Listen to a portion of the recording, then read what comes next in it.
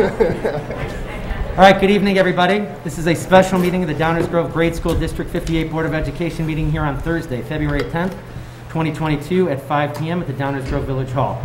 This meeting is being live streamed from the, pub- for the public on the Village of Downers Grove's YouTube channel. Melissa, will you please call roll? Member Doshi is absent. Member Ellis? Here. Member Hannis? Here. Member Harris? Here. Member Olchik? Here. Member Weiner? Here. Member Hughes? Here. Tonight, members of the audience will have an opportunity to provide public comment to the board. I have increased the time tonight from 30 minutes to allot 60 minutes for public comment tonight. The board has asked anyone wishing to comment to please fill out a card and indicate the topic to be addressed. These can be placed in the ba- basket over there on the table to my right. We will do our best to make sure as many people as possible to comment within this time frame. Depending on how many cards we receive, this may mean that we need to reduce the time allotted, but as of right now, I have allotted um, two minutes and ask for anybody, so that we have the opportunity to give everybody to speak, to keep your comments as concise as possible. Um, Anticipating that there will be more comments than than we particularly hear in a single meeting, Dr. Russell has shared a comment uh, form in the most recent email. Uh, It's over like, what, the last 48 hours, I think those were coming in, right? Um, We did receive over 350 comments there, and the board has had an opportunity to to review all of those um, before we met here today. As we always do, we're going to start with a the flag salute, so everyone please rise. I pledge allegiance to the flag of the United States of America and to the republic for which it stands, one nation, under God, indivisible, with liberty and justice for all.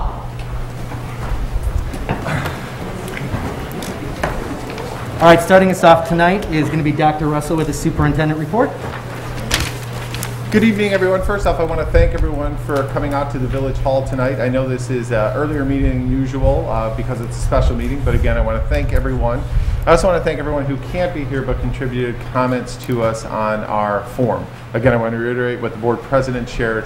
We have taken the time to read all of those comments, um, and so we appreciate everyone's feedback. And just as a reminder, those comments will be posted on BoardDocs uh, so the public can see what the citizens share. Okay, so as we get into our report, I want to talk about the objectives for tonight's meeting. So tonight we hope to provide a brief overview of the current landscape in Illinois regarding COVID-19 mitigations. Want to share some recent events, state of the district as a whole as it uh, relates to mitigations. We certainly want to listen to public feedback. And the main goal is to provide clarity moving forward for the community. So tonight, the board will be uh, asked to vote on a mask recommended policy. That means a mask optional policy contingent upon court rulings and/or the lifting of Governor Pritzker's mask mandate. So as we make this vote tonight, or as the board considers this vote, here are the factors that we consider as we, you know, embark on this. So first off, we're always looking for the health and safety of students and staff. So we look closely with the IDPH guidelines. Why are we looking at the IDPH guidelines? Because as a public school district in Illinois, that is the health governing body that we, we always look at. The IDPH guidance calls for layered mitigations during the pandemic. We're always, oh, sorry, thank you. Yeah. We're always looking to prioritize in-person instruction. One of the things that I really feel strongly about is doing everything that we can, and I know this board feels strongly, to make sure that our kids are in person. Um, our teachers did a wonderful job with remote learning, but I think we can all agree that in-person instruction is the best form of instruction and it's the most important thing. And so everything we do is with that lens, how do we make sure that we keep kids in school and avoid a scenario where we go remote? We are also keenly aware of a path toward normalcy. Sorry, there's a typo in there. We were working on this this afternoon. Providing our students with a normal opportunity. What does school look like prior to the pandemic? That is always what we're aiming for. I'm a father of seven school-aged children. I want my kids to have a normal experience. All the board members up here also have children in the schools. That is another priority that we're always trying to consider. Of course, we always want to make sure that we're providing our students with those rigorous instructional opportunities as well. During this pandemic, we have seen more social emotional needs from our children than ever before, and also from our staff and community. So how are we paying attention to that is also a very important thing to us. We always want to find ways to continue to support our students and staff. And when we can and when it's appropriate, parental choice is something that's a philosophy of this Board of Education and myself as the superintendent. We always want to give parents as many choices as possible as appropriate. So what have we learned so far from the pandemic? Unfortunately, our state leaders have not really ever provided us with a clear path forward. And I've also learned that there's really good people in Downers Grove. I went to high school in Downers Grove, I taught in Downers Grove. So many of you in the audience also grew up here. We are a great community. And we are also a community that has different views. And people have legitimate views and concerns on both sides. But I will also tell you that communities have been torn apart over the last two and a half years. I don't think that's a surprise to anyone. It's been one of the most devastating impacts of this pandemic is to see how communities are being torn apart. And one of the things that breaks my heart about the current situation is I think we can all see the light at the end of the tunnel with Governor Pritzker's announcement that, you know, for indoor places, the public masking ban will be lifted on the 28th. But yet here we are again as communities, not just District 58, but all over the state of Illinois. And we're, we're thrown into this chaos and turmoil again. It's not something that any of us want. Trust me, I can, I can speak for everyone in this room. And I will also tell you that the suburbs are very split on this issue. As, as you look around, you know, there are certain communities in the state of Illinois where masking isn't even a question. Everybody wants it. There are other communities in Illinois that people don't want it. And then there are communities in Illinois where no matter what decision is made, people on one side are not going to be happy with the outcome. And this pandemic has certainly taught me that. One of the things, though, I do want to be very honest, and I want to make the community aware, we are seeing a growing hostility toward public boards and staff. I want to share with you a story from O'Neill Middle School this week, where the principal received a voice message because someone was angry about a mask. The caller, who was a family member of a student, told the principal that he hopes he gets cancer, kills himself, and dies because of a mask mandate. I can tell you I've been accused of child abuse because I asked the community for a couple of days to look into this. We can all disagree, and you can certainly attack any decision that I make, but attacking people's character is going above it, you know, and it- it's something that we have to get a control on in, in our community. I recognize that the overwhelming majority of people would never say anything like that or do anything like that. But those misguided accusations do have an impact. They have an impact on our students, they have an impact on our staff. We are experiencing burnout from this pandemic like you've never seen before. There is an educator shortage. And there are many in this profession, even in District 58, that are looking at the current landscape and saying, I'm not doing this anymore. It's just not worth it.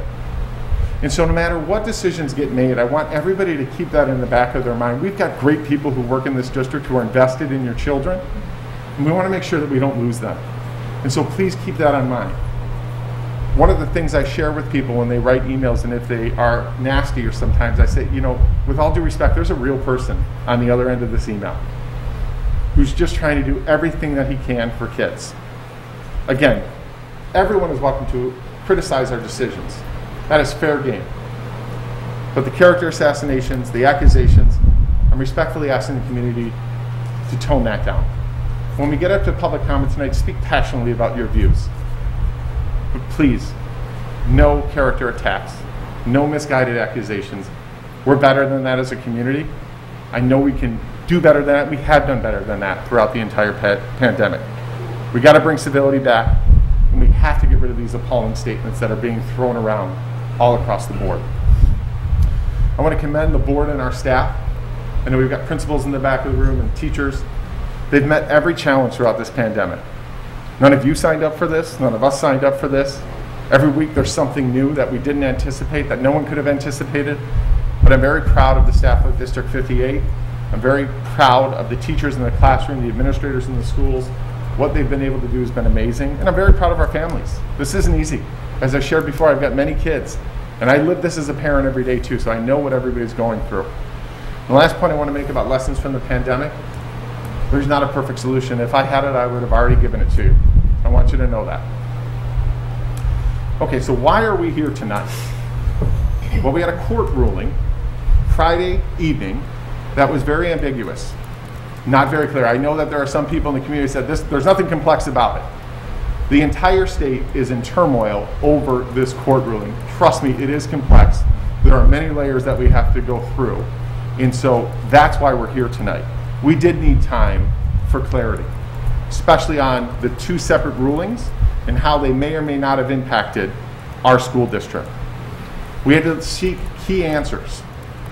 We had to make sure that we talk with our insurance provider. When you get a ruling at 5 o'clock on Friday night, they don't pick up the phone on Saturday or Sunday. We have to wait till Monday morning. And so as I'm getting emails on Saturday night and, and people are saying, be a leader, make a decision, I can't just make a snap decision. I need to have time. Now, I realize that some districts did come right out of the gate and make a decision. Those districts were named in the lawsuit. We were not. There's a big difference when you're named in the lawsuit and have to make a decision based on that versus not being named and trying to figure out what's going on. We had to check with the health department. We had to check with local school districts. There's a lot that have to go into that. One of the things I want to point out too, why this is a special meeting versus an emergency meeting. As soon as we got that clarity, we did schedule a special meeting. That's why it's on Thursday. You have to post a special meeting for 48 hours to be in line with the Open Meetings Act. You cannot post an emergency meeting if there is not an emergency. Since we were not named in the lawsuit and we were already in school, that wouldn't qualify for an emergency. So if we called an emergency meeting and the board took action, and let's say they voted for a mask optional policy and someone challenged that with a public access counselor, the ruling could be null and void we'd be right back where we started and we had to come back again. And so I recognized that people wanted an immediate answer. You deserve to have an answer from me of why you couldn't get that immediate answer. And the other reason is, as superintendent, I do not set the direction for the community. Your elected officials set the direction for the community. Boards of education have to weigh in on this. The board has been very clear since we started the pandemic. So long as we're following the guidance and the mandate, I don't need to come back to the board. If something changes, I do have to come back to the board and let your elected officials weigh in. That's what the democratic process is all about. I realize that some people are upset with Governor Pritzker for making a unilateral decision. The remedy to that is not having your superintendent make a unilateral decision. It is to come in front of the board and have a community conversation where all can be heard. So what are we asking the board to vote on tonight? We're asking the board to approve a resolution that delegates authority to the superintendent for the following. To keep the current IDPH mitigations in place except for, number one, unvaccinated school employees will no longer have to submit to weekly testing. Excuse me. I'm not good at driving this at the same time. Told you, Dr. Aguilar. Number two, close contacts will not be required to be excluded from school to remind everyone a close contact is someone that is not symptomatic or is tested positive. Students and staff will not be required to wear a mask in schools. Face masks still will be required on district transportation. Why? District transportation is under the federal mandate, not the state mandate. So people still have to wear masks on buses. This could only take place if there's not a stay in the executive, excuse me, in the TRO, the TRO fails to be overturned or the governor's mandate expires or is withdrawn. So basically, what I'm asking the board to vote on this evening is a mask optional policy so long as the court doesn't rule that school districts can't do that or the governor withdraws that. So what would this look like in our schools if this took place? Instructional spacing would still remain at three feet. Lunch and recess would be handled in the same manner they are today. If you go back to one of those original slides that I talked about, it's a layered mitigation process. So what the guidance tells us is you take a measured approach, you take away layers. So if we're starting with face masks with close contacts, we see how that goes for a while, and then you continue on in that process. Staff will have the ability to maintain six feet of distancing in instructional spaces to the greatest extent possible. An additional PPE like N95 masks will be offered to staff upon request. We do have additional N95 masks for students of low income if they needed that. But the problem with those is sometimes the student faces aren't big enough for those things, and so we would have to work that out on an individual basis. We continue to strongly recommend, not require, the implementation of other safety measures such as the use of hand sanitizer, hand washing, etc. Discussions then would happen at every grade level to support students to feel comfortable in their learning environment. I want to remind everybody, students, and everybody knows this, has they've had masks on for two years. If that suddenly changes for our elementary students when they're four, five, six, seven, that requires some conversations with kids. Families with students who have a medical condition that may require additional accommodations are encouraged to work with their building principal and their student support team so we can continue to make accommodations. And again, masks would be recommended, but optional for visitors. So my recommendation would be for the board to adopt that resolution as written. There's some key points though that I need the public to know and for the board to consider. District 58 would still recommend everyone follows the IDPH guidance. Again, there's a difference between recommending and requiring. Why am I still recommending that? Since the start of that pandemic, I've been clear, I am not a public health expert. We're going to recommend what the public health experts say. It's up to parents, though, in this situation, how they feel comfortable with that. The recommendation is in accordance with the guidance and it takes a layered approach. Key questions have been answered and it continues us on this path of a return to normal. It is in line with what we're seeing across the state of Illinois with other districts, private schools as well. And certainly Illinois is one of the last states to let this happen. But there are a ton of examples of how this works throughout the country and in the state of Illinois, and really even here in Downers Grove, when you look at our private schools that have been doing this for a couple of days. And this does, of course, allow for parental choice. One thing, though, I have to make clear to the community, and we've been in this world before with, with required mandates. If approved, a court ruling could result in reverting back to the governor's full mandate. And so what that means is if we have a court of law that tells the school districts in Illinois you have to abide by this, then, then we would have to abide by that court ruling. So you could have a situation where masks come off and then they're required to come back on for a period of time. That's out of our control. We don't like that situation. We want consistency for our kids. And so that is one thing that obviously is concerning if you go back and forth, back and forth. However, throughout this pandemic, I think we've all been back and forth, back and forth, back and forth, and so that resiliency is there and built up. I also want to, you know, when, when we talk to our staff, when we talk to our principals, you know, one of the common themes was we do need some time to ensure everything is ready to go and conversations can take place with students. I think our staff are very concerned if we pass something at six or seven at night, if the board did decide to go in this direction, and not being able to talk with our staffs about what this means. So in a perfect world, what I would be recommending is that we would start this on Monday, so we could take time to have conversations with kids tomorrow. We could take time to meet with our principals tomorrow morning, and we could make sure everything is, is ready to go. We don't do that in education unless the board approves that, right? We don't want to circumvent the board, and so that's why those conversations haven't taken place in full yet. Also, for the board about any recommendation I give, I wish there was a perfect answer that could unite everyone about this topic. There isn't. And I understand that no matter what recommendation gets made, that people are going to have concerns. One of the things that we've done throughout this pandemic, though, is we've really done a nice job of making sure that we have conversations with kids, we have conversations with families, and we will get there. Throughout this pandemic, we've had many points like this where people were scared about maybe going the next step or they had legitimate safety concerns. We've always done a nice job of working through that. So with that, before we get to public comment, are there any board questions? None for me. Okay. Well, thank you, Dr. Russell.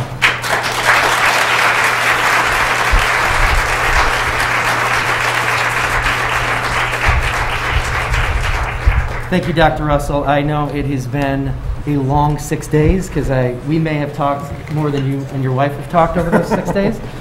Um, I, I know I know it was hard, and so for all of you that were able to give us some patience while we figured it out, it was it was stressful knowing that we didn't even have an opportunity to hear from the health department until uh, Monday afternoon.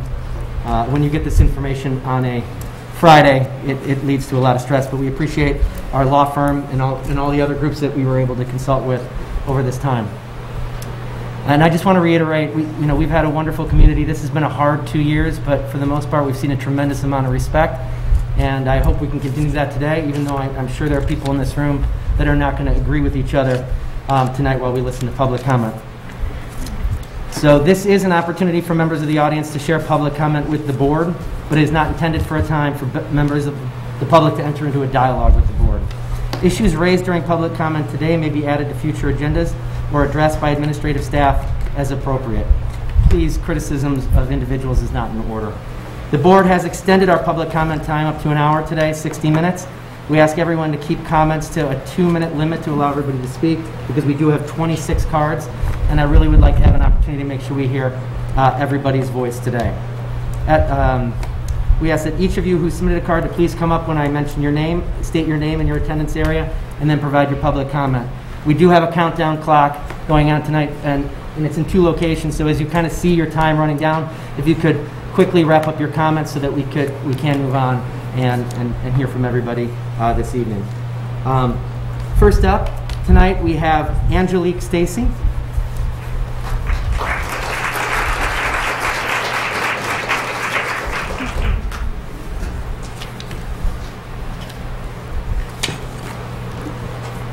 Welcome. Thank you very much for having me, and I just want to say thank you to the board and Dr. Russell.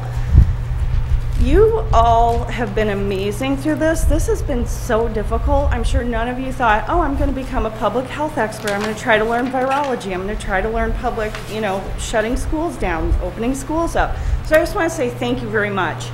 Um, I also want to say thank you for pushing to go remote when you did pushing to go full schedule when you did, when you had a lot of naysayers telling people that uh, all kinds of awful, awful things. So thank you very much for doing that. And we have that same faith in this board tonight. We know that neighboring districts have been difficult. We know that our high school is having problems right now. And we know District 58 is awesome. District 58 listens to their parents. District 58 listens to the community. That's all I want to say is thank you. I remember what happened a year ago. I remember the path we took to get here, and I appreciate it. So thank you very much. Thank you.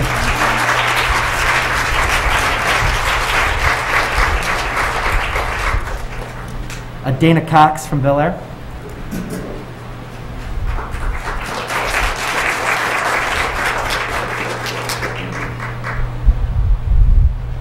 Did I get the name wrong? I see No, it? he's coming.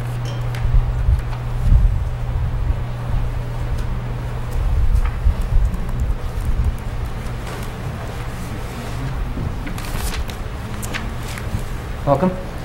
Thank you. Good evening, members of the board and administration of 58.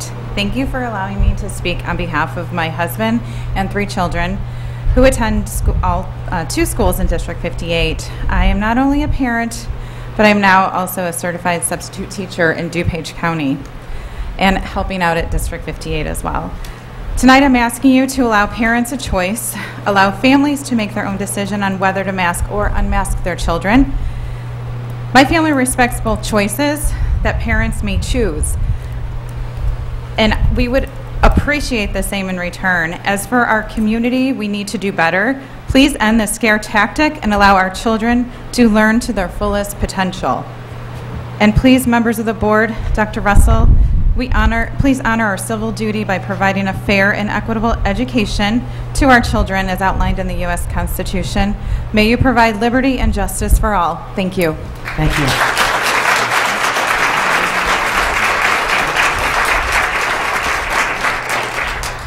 Uh, Megan McKenzie, Kingsley.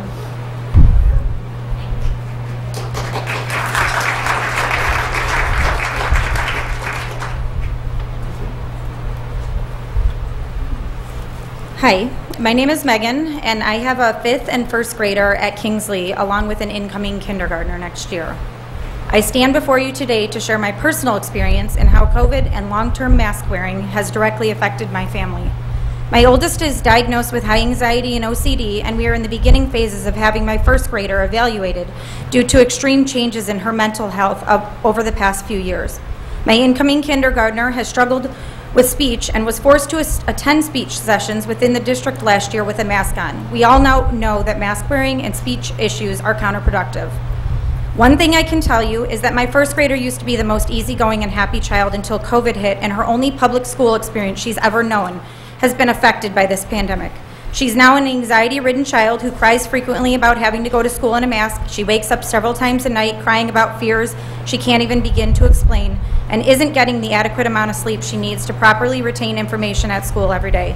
There is no doubt in my mind that attending kindergarten only a few hours a day on Zoom, spending her days in first grade with a mask covering her face, being unable to see expressions on her teachers' and friends' faces, being isolated at separate small tables to eat lunch, and being yelled at by staff if her mask slips down on her face slightly is most definitely the culprit of all the issues we are now dealing with on a daily basis.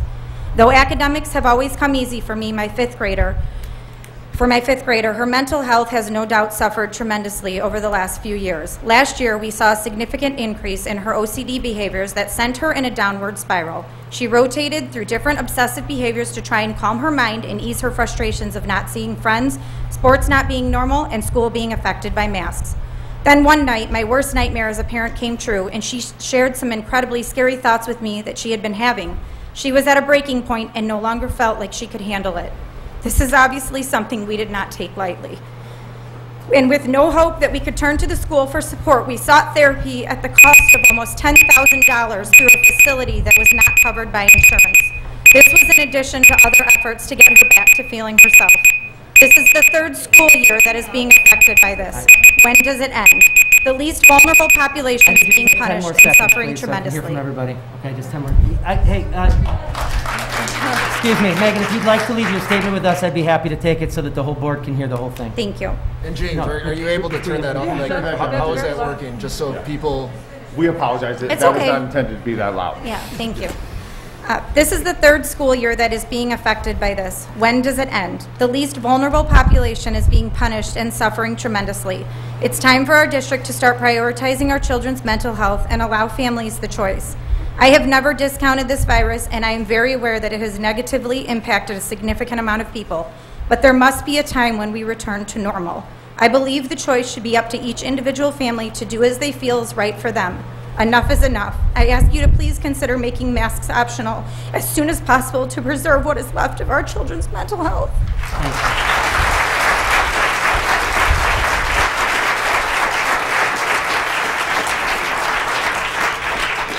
Mark, Mark Filing, Pierce Downer.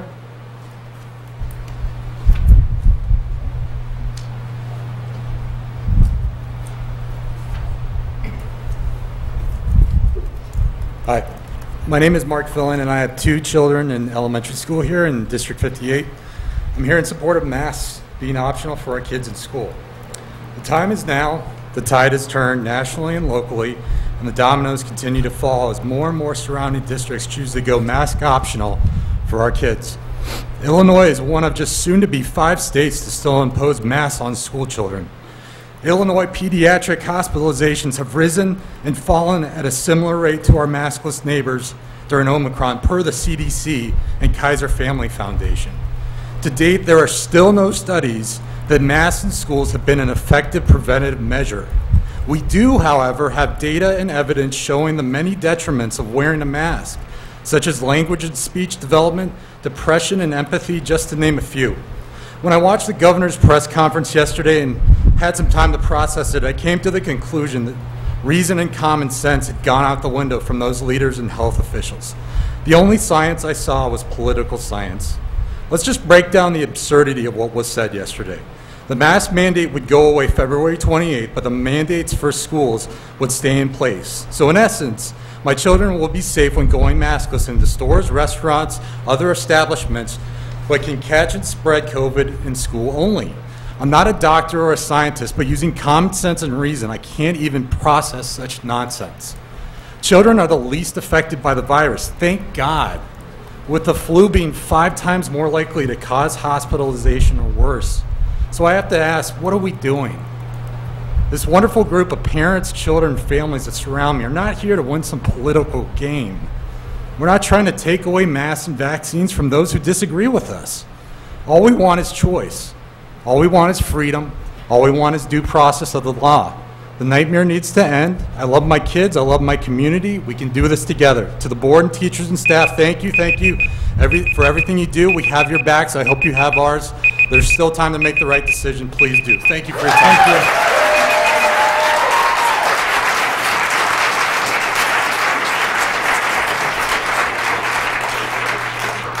Josh Hearn.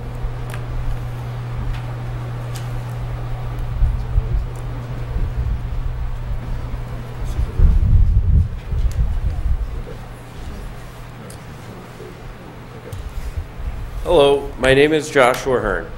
I'm a District 58 parent. My wife and I have four children, with our oldest being a first grader at Pierce Downer. Having a child who has only known school through the pandemic, it is worrisome how young learners in this community are being academically and developmentally affected by COVID mitigations. I have heard about the learning gaps due to the COVID 19 shutdowns all over the news. But has anyone thought about the effects of the endless masking that we're having? The shutdowns ended a long time ago, but the universal masking has now has not. 2 years later, it's still going on. Even in an affluent area like Downers Grove, the first grade aimsweb assessment showed a 43 showed that 43% of first grade students need intensive intervention to achieve grade level literacy. The literacy map scores also showed lower scores.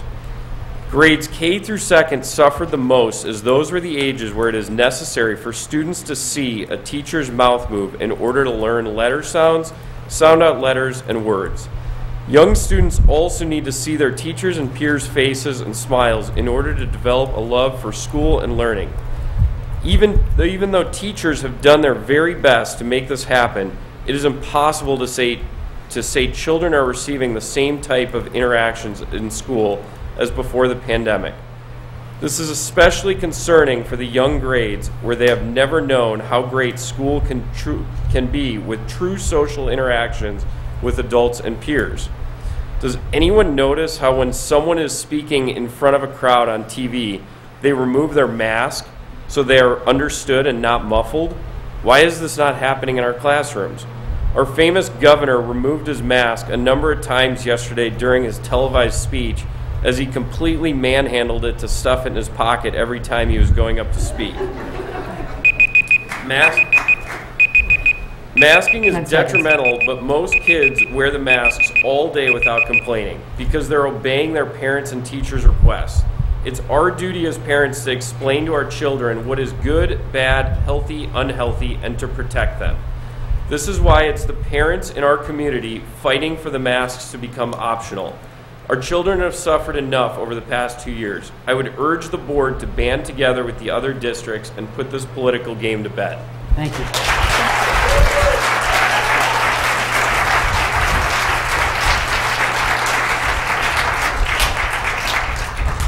Sarah Rusan, Highland. Hello. Don't start yet. I have to pull up my phone here. Okay. Um, hi. I'm Sarah Rusan. I'm a parent at um, obviously District 58. My daughter goes to Highland. Um, wherever this lands tonight, I think we can all agree that our kids' mental health has suffered over the past two years. Each family has been impacted in some way with a loss during this pan- pandemic. Whether through illness or death of a loved one, loss of job security, or changes to career or intangible losses from failed expectations, missed opportunities like graduations or first experiences, milestones, and events, we have faced isolation and loneliness. This has taken a toll on every person of every age. And while we did our best to shield our children from the real burdens we carried, their small shoulders carried them as well. Together we are bonded by this grief. And, together, and tonight we are reminded why we have um, we are reminded we have a shared goal. I look around this room and I can feel the love and protectiveness and hope that all of these parents are holding for their children, for our children. and I want to take a moment and hold space for and honor each other and these big feelings. Tonight, you will hear compelling and passionate statements from different sides and be faced with another difficult decision that shouldn't be yours to make. I am disappointed in our state leadership and health department that the role of public health expert has fallen onto your shoulders once again. I hope that the decisions made tonight are done by following the data and logic that can help support any future policy changes the district may need to make responses to surges or variants. My request tonight is not just for the board or the district, but a plea to our families to make a commitment to each other. We came tonight because we recognize the mental health impact this pandemic has had on our children. The risk benefit is being reconsidered. But what, uh, um, although I'm hoping we can develop a logical path forward, we need to take into consideration and have a plan that addresses the mental well being of our children in the how we roll this off ramp plan out. Just as there are very legitimate medical reasons why someone wears a mask, there are very real reasons and needs for a child not to. May I finish? Yeah. Thank you. 10 seconds. um, severely immunocompromised, too young to get vaccinated, struggling with anxiety, sensory processing disorders, physical impairments, hearing loss, and learning dif- uh, difficulties. My list is not exhaustive and isn't intended to highlight one importance over the other. We are hearing across districts of people pitting each other up against each other, kids that don't want to sit next to other kids because one is masked and one is not, people that are, are judging or posting other pictures of their kids on social media because they are the other than what they are. The implications of bullying on a mask issue leads to further stigmatizing mental and physical health, welcomes intolerance and discrimination, and takes us further away from our goal and need of addressing our kids' mental health. I don't say these things with judgment. These are big feelings, and we need to find a way through them. As parents, friends, need- neighbors, we and do need to wrap up. educators, we have very real opportunity to model and teach uh, an incredible value, an incredibly valuable life lesson these next few weeks. And I'm looking to the district to just help provide the right tools and resources to our schools, teachers, and families so we can roll this out the right way. Thank you Thank for the extra time.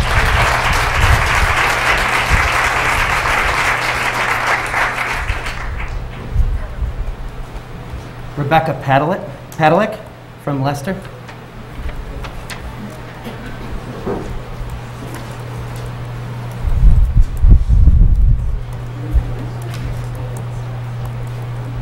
Good evening. Thank you, Board, for being here for us tonight and allowing us to speak our thoughts and concerns on this matter. I am a health professional, frontline worker. My husband is an ER physician, so we've been on the front lines from the day one of this pandemic. I watched him with fear as he walked out of the door, not having the equipment he needed to face this pandemic, and we were scared. But very quickly, we began to realize that those fears were not really based on facts and our community was being lied to by the media, and those numbers did not add up. My background in healthcare is in ICU for over eight years, then I moved to ER. I can tell you how an ICU works, a lot of people don't understand it. So when you hear on the news that our ICUs are full or at capacity with COVID, that's not necessarily the case. Just like we are seeing in teachers, we're seeing a mass exodus in nursing. We are underappreciated, underpaid, and after the past three years, you can only imagine the, the trauma that some of us have gone through. With that mass exodus, what you are seeing now is we have severe staffing ratios, and I'm sure you can understand those as you're battling some of those things as well. Now, the number of patients that we're able to care for is minimized. That does not mean that COVID is as much of a crisis as it was two years ago. That just means the staff that's there to handle it is kind of tired. That doesn't mean there's as many sick people as the news would like to portray. It just means we might have one nurse that has to handle three or four patients where that previous ratio was only two to one. The concern goes forward as to when does this end? When do we begin to put a pause on some of these thoughts that this is just a dire strait of COVID is going to kill us if we catch it? I could place my life on the line to say that probably every one of us in this room have had a variant of COVID. Whether you knew it or tested for it, Omicron or Delta, somebody in here has had it. I also recognize and don't take away from the severity that somebody in here has passed from it that was a loved one of ours. But what I say is let's our children be free to be children. They are least vulnerable, and I respect that this board will do the right thing by our children. Thank you.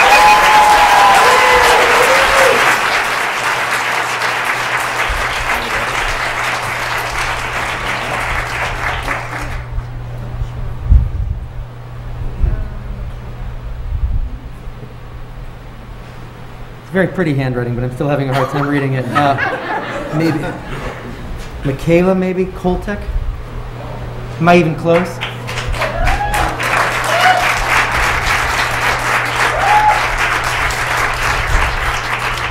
Welcome. Hello, my name is Michaela Cotter. I'm in seventh grade at Herrick Middle School. March of 2019, my life changed. I was no longer allowed to go to school. I was no longer allowed to see my friends. I was no longer allowed to leave my house. Eventually, it became class online, which led to finally being able to return in person. In person school no longer looked the same. We had strict rules that we had to follow. That was not the way to end my sixth grade year at Lester. I realized very quickly that our opinions did not matter. I did not have a say. Due to the fear of COVID, we had to wear masks and remain six feet apart. Back then, the science supported those decisions. I do not feel that it currently does. My friends have a choice to get vaccinated. I thought that this is what we needed in order to get life back to normal. Apparently, a vaccine was not enough. What is enough? When will I have a say? The fact is, if you were to ask my peers what they wanted, they would actually tell you that they do not want to wear masks any longer. What's funny is we actually kind of do not wear them. There are too many kids and too little teachers. Half the time, the masks are under their noses or on their chin. Professionals say that in order for them to work, they have to actually be worn correctly. Respect is earned, not demanded. I have been respectful and compliant, and I continue to be. However, we deserve to have a say and a voice on something that impacts us eight hours a day, five days a week. To say we don't mind the masks is ignorance.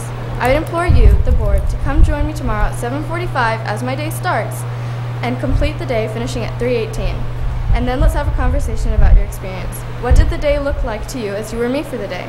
It's hard to breathe, hard to concentrate, hard to hear what the teacher's saying, and it's especially hard to tell how someone is feeling. Our feelings matter. Our mental and social health matter. Please respect us and make masks optional. Thank you.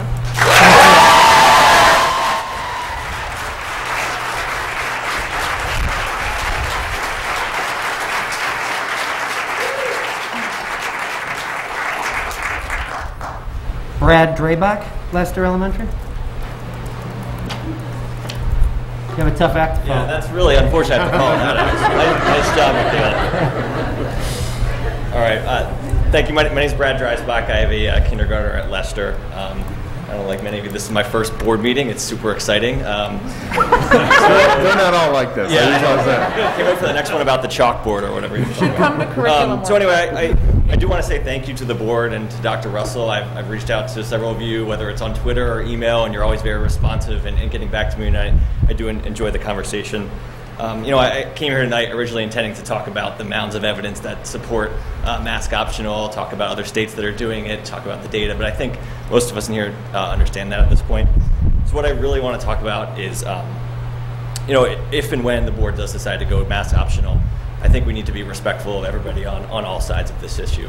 Um, I think, as someone already mentioned, you know, there are going to be folks that, that and, and children that choose to wear masks, and that's what we want to support. We want to support the choice for everyone to make the choice for themselves.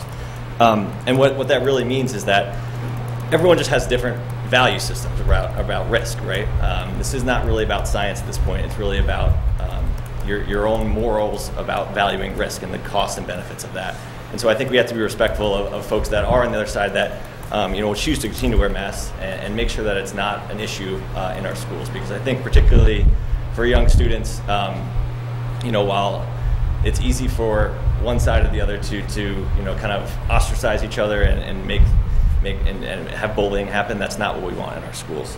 Um, the last point that I want to make is that, you know, I think while while the board is ultimately hopefully going to make the right decision, I, I'd like this to be a learning moment for all parents. Um, you know, me in particular, I wish I had um, spoken out earlier, and I think it's just uh, a little bit of a uh, it occurs to me that it's something that I need to be doing more. And I think all parents should take pride in their children's education and make sure that we're standing up for, for what we believe in. Um, so I encourage this to be a learning moment for all of us. Thanks. Thank you.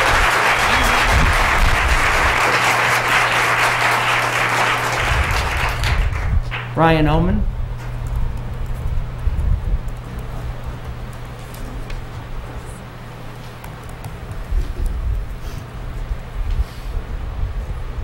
My name is Ryan Oman, and I have a student at Lester.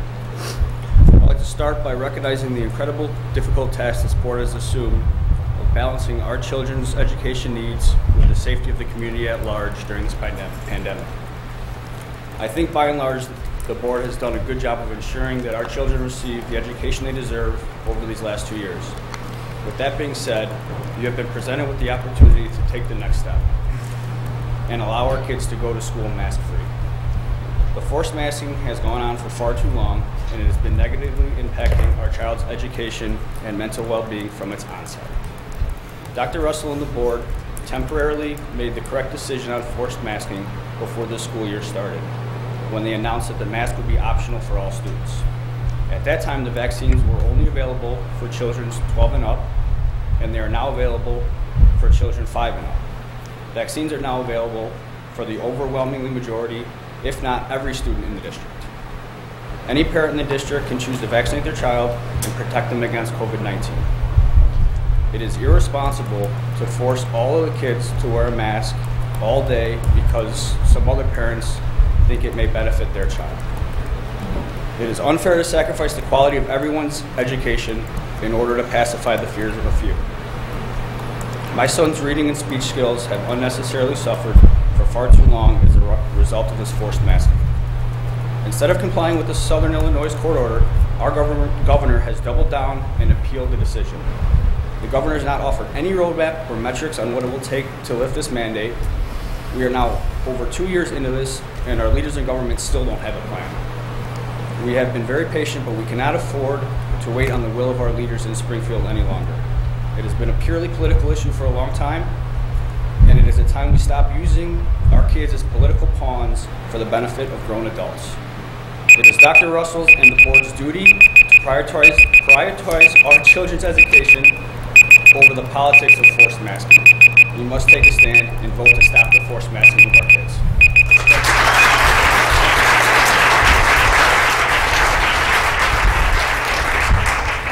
Thank you. Uh, Lisa Hinsberger, also Lester.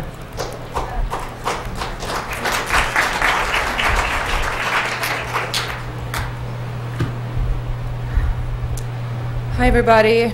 Um, I'm a mom in this community with a preschooler and a kindergartner. I'm here because I no longer want to mask my children. I do not see any benefits of it anymore. I do think that there was a time and a place for pandemic restrictions, including masks.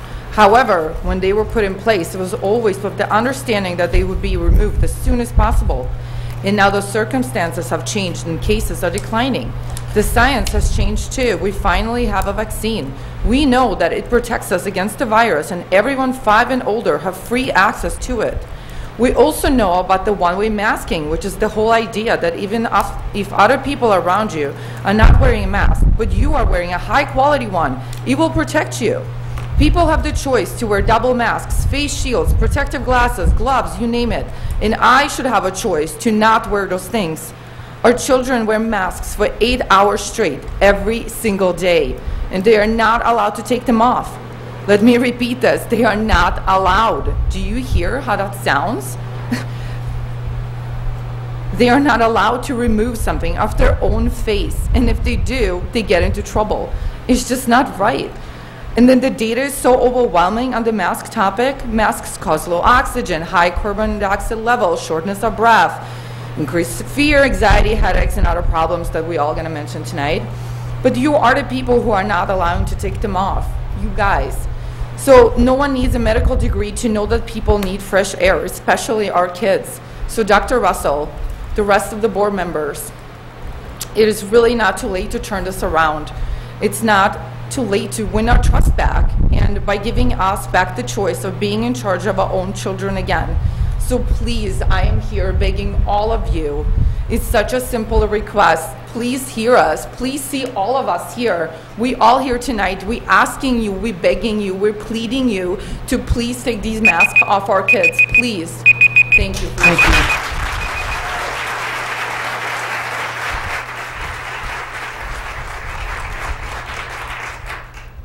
Debbie Robertson.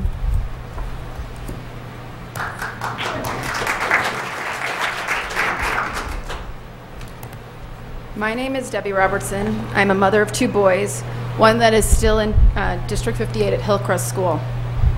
The last two years have been incredibly stressful for all involved parents, teachers, administrators, board members, but most importantly, the students. There is a quote that says, A smile is a light in the window of the soul. The last two years, I've seen a dimness come over our children. Their bright, beautiful lights are being diminished because we are literally covering up a large part of what makes them who they are. Michaela and Megan's stories are proof of that. I've seen the own change in my own children. And I've, um, I've, my own teachers, son's teachers have told me that the only time that they see my son be like who he used to be and smile like he used to be is when he is afforded a mask break. I know you are here to trying to figure out the right thing to do, but making decisions based out of fear will never win. History has shown us over and over again light and hope always wins out over fear and darkness. We know this virus does not affect children the same way it affects adults.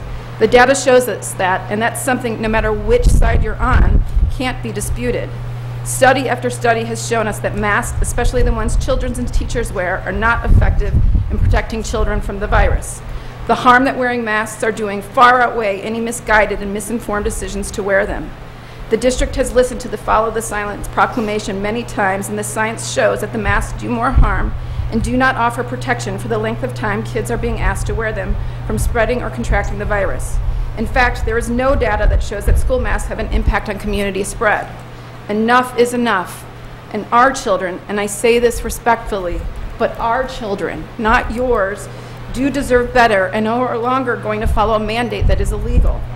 Since the start of the pandemic, you have said many times that you were looking for a way to navigate this. And Dr. Ru- Russell and fellow board members, I commend you for how you have handled this. You are much braver than District 99 and how you're handling this.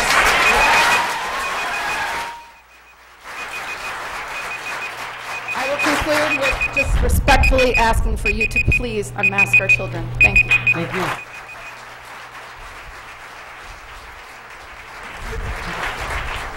Jamie Sparger.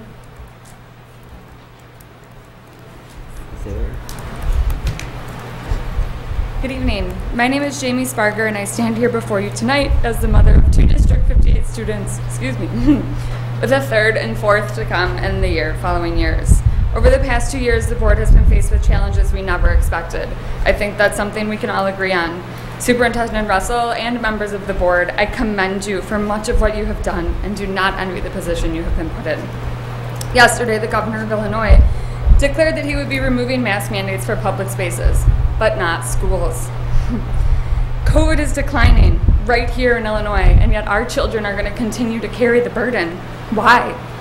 In an interview on February 7th with CNN medical analyst Dr. Leana Wen, she states the first restriction removed should actually be the restriction on children.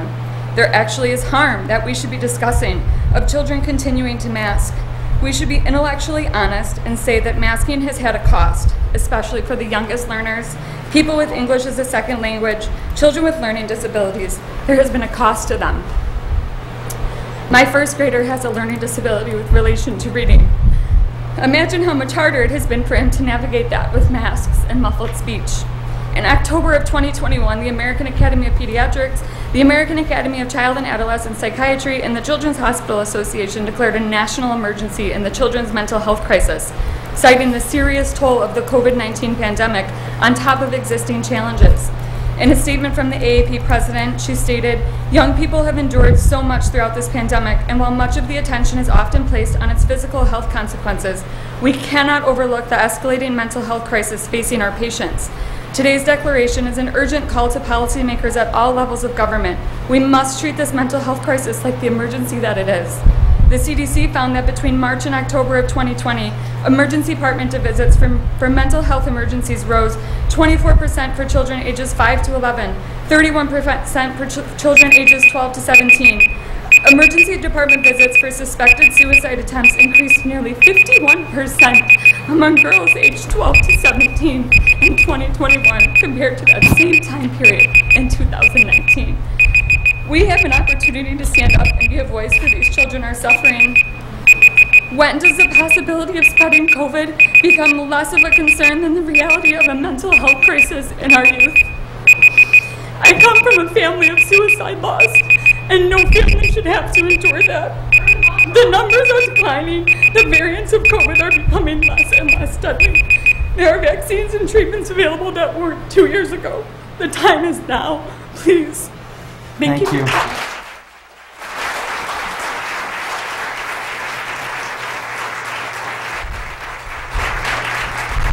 Carrie Antonopoulos. Good evening. I'm Carrie Antonopoulos. I'm the parent of a fourth and sixth grader at Highland Elementary. I'm here to ask that masks should be optional in District 58 for the following reasons. Number one, vaccines are widely available to everyone over the age of five. Number two, all staff have been vaccinated, which protects the most vulnerable demographic from severe disease and death. Number three, boosters are widely available to any staff member who wants additional protection. Number four, the CDC has said that cloth masks provide almost no protection against COVID. What little protection they do provide assumes they are worn correctly, which is rarely the case in school-age kids. Number five, one-way masking with a high-quality N95 mask prevents COVID, no matter what others are doing, and there is an ample supply of such masks available.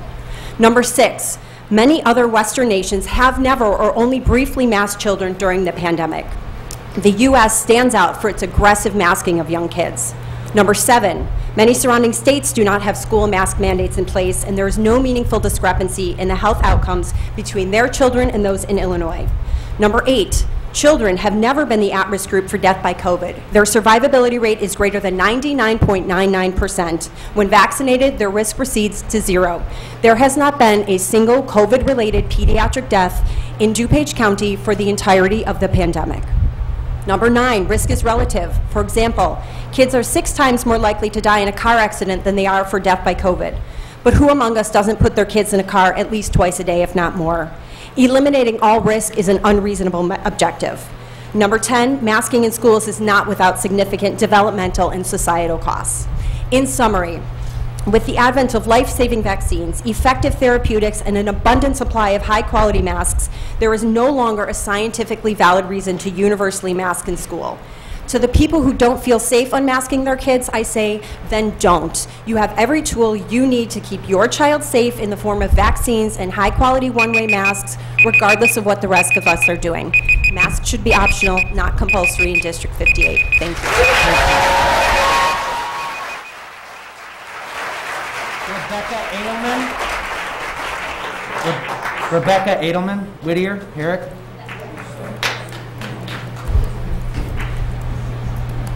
My name is Rebecca Edelman. I have two kids in Di- District 58.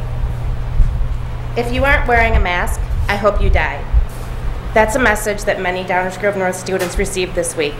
It was written by one of their peers. That's where we are. We're in a place where the inability of leaders from every level of uh, government to make decisions has poisoned our kids. We are aware it starts in Springfield, and it is abysmal. When we were kids, we challenged authority. That was our job, and we were pretty good at it. While we frustrated adults, we under, we, they understood that kids learn best by trial and error. Letting kids challenge rules was known as the best way to raise kids who have a firm understanding of, a firm understanding of consequence, have learned right from wrong, and are independent thinkers. Somehow, throughout this pandemic, kids have lost the nature, the natural instinct to challenge rules. The constant barrage of fear from parents, the media, and most notably teachers and school officials has paralyzed an entire generation. I see it in my sons and their peers. Kids who should be trying to find creative ways to get out of wearing masks have conformed to the point that they are afraid to go without. If you talk to them, they really don't seem to understand what they are afraid of. They spit out talking points that they have been force fed. Encouraging this fear in our kids is going to have long term consequences, not just on them, but on society. How does a generation built on conformity grow to be critical thinkers, inventors, and creators? How does a generation rooted in going along with the status quo produce leaders with courage to make hard choices? Can they? Please really, really reflect on that. It most certainly is not rhetorical. This generation is paralyzed by fear, and how will they ever go on to be as great as the generations before them? Please end this for our kids. Thank you.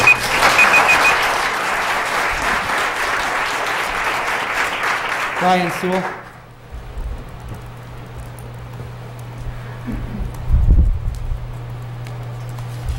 Good evening, thank you. Thank you for having this meeting. I would like to start by recognizing this young lady here, who's my daughter. Lucy enthusiastically made the decision to attend Whittier without a mask this week. She is tired of masks.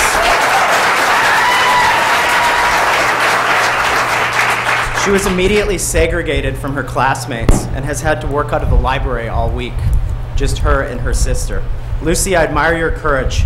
I know it was not easy or fun, but I know your actions played a role in getting this board to listen tonight and reconsider the mask mandate. You are my.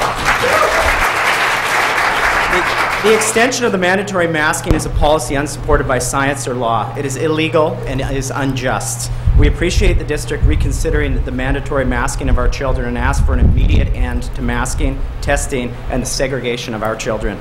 The chaos of the last four days can end in a vote tonight to end the masking. Failure to end the policy will cast the community into further chaos and division. Dozens of parents have already initiated the process to sue the district if this is not uh, struck down today. Um, claims against surety bonds are already underway for numerous officials in both school districts. We will not stand by idly while you segregate our children, creating a two tiered system of education one for the masks and one for those who choose to breathe. Thank you. Thank you.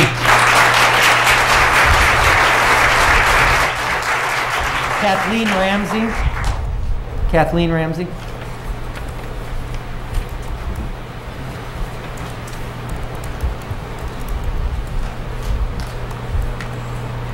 Good evening. My name is Kathleen Ramsey. My youngest is a sixth grader at Puffer. Thank you, Dr. Russell and school board, for your time and always being so respectful. I would like to share just a couple stories with you. During my fall of 2020 semester, I had a student religiously come to office hours to ask a question here and there just have a quiet space to work. A month or so later in the semester, I was walking down to make copies. I see her eating in a study nook. My first and most immediate action was to gasp and without pausing say, You are stunning. Followed by, I have to go because I'm going to start crying. That is when I realized I missed my students. I missed their faces. I missed their expressions. I missed their confused look as I speak a foreign math language to them. I feel a responsibility to speak on the behalf District 58 teachers who feel they can't use their voice in fear of losing their job.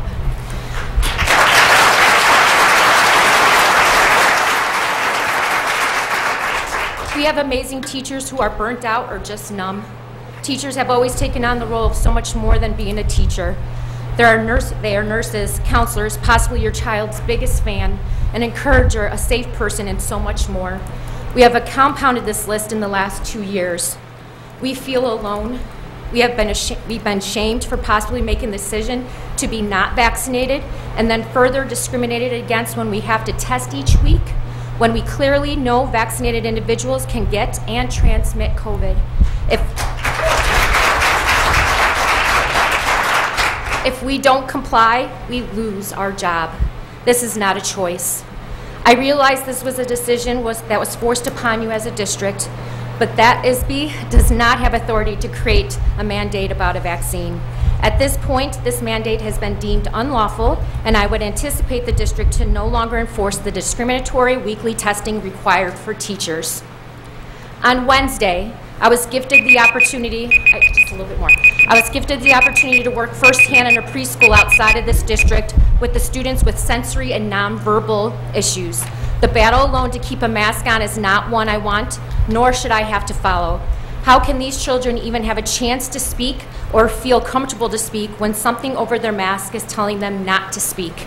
I'm asking you to have to all be brave with me and take the next step. It's time to have some changes.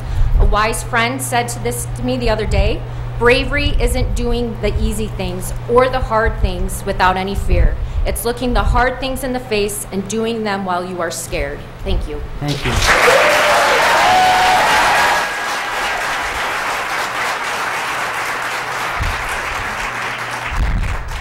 Sean Lowe.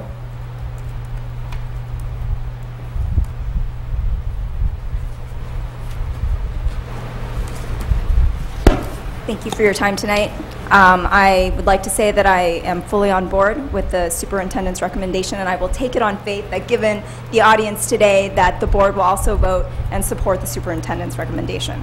And I want to take this time to urge you to stay the course in the future. If case counts arise, stay the course. This is the right decision. It should not affect future decisions on whether or not to reimpose a mask mandate or other forms of illegal quarantine. Um, I think I'm a lawyer and a scientist. I'm detail oriented. I took a look at the DuPage County COVID 19 dashboard for the first time today for the entire pandemic, and I was shocked by what I saw.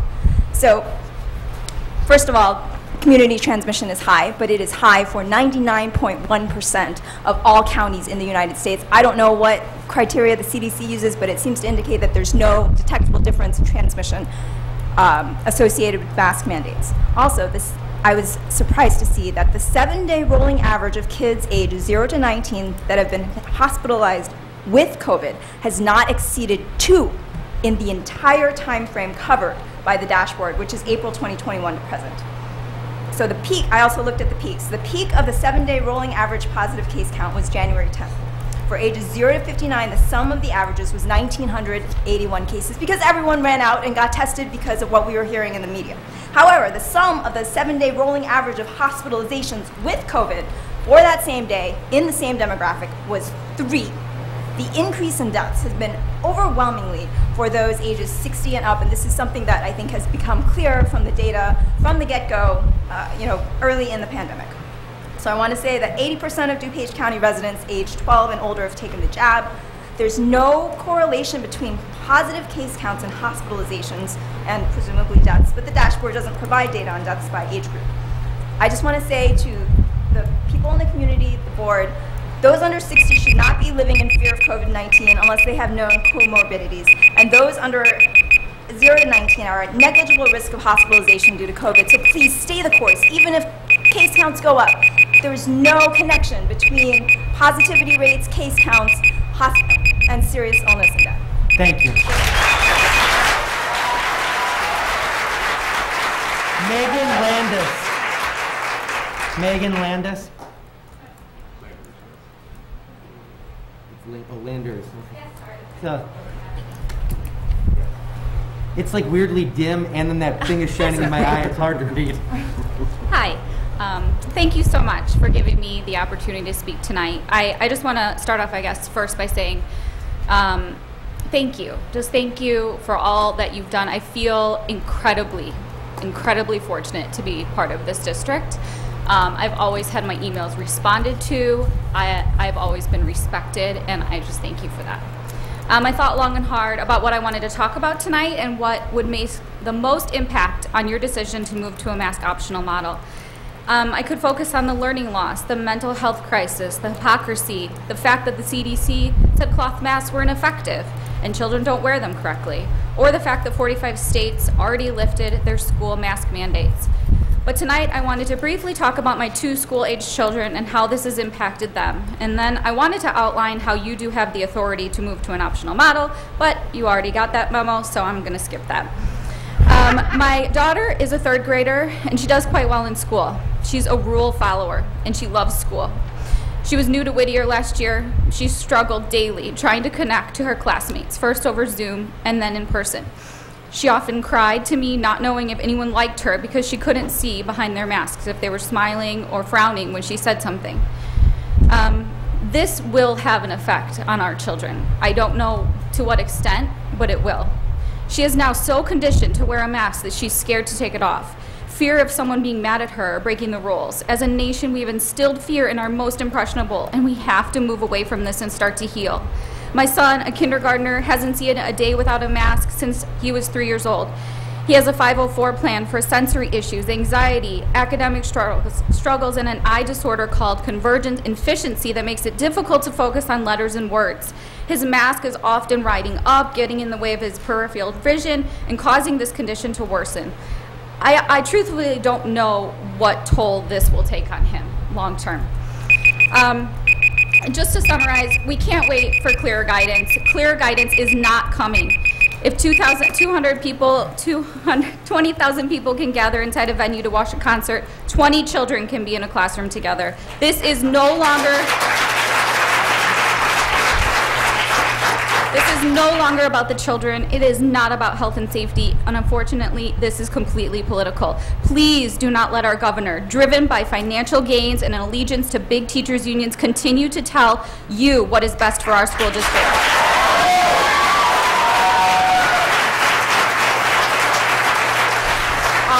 Our children should not have to carry this burden. Please, please make it optional. Thank you. Mike Allendorf.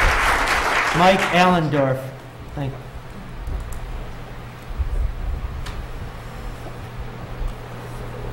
I just showed up because my wife was worried everyone was going to argue for pro-mask, and that seems like it's not the case. so I think you guys have all the reasons. It seems like we're moving in the right direction.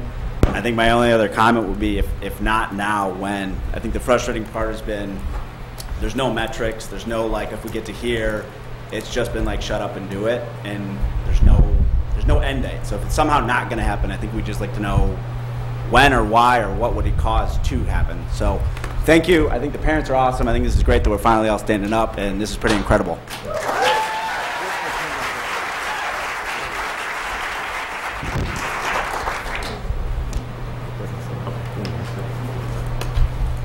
Kim Breyer.